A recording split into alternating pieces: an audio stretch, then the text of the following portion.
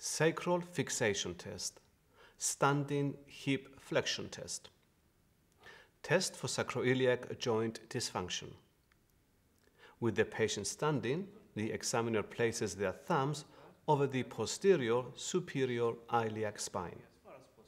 The patient is instructed to flex one of their hips and knee all the way. The examiner checks to see if the posterior superior iliac spine level on the side of the flexed leg remains at the same level or if it drifts downwards. The test is repeated with the other leg. The test is positive if the posterior superior iliac spine on the flexed side remains at the same place, indicating hypomobile sacroiliac joint. Normally, the posterior superior iliac spine should drift downwards.